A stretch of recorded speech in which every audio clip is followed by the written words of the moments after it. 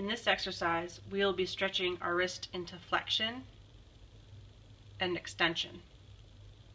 If you need to use your other hand to help with this stretch, that's okay.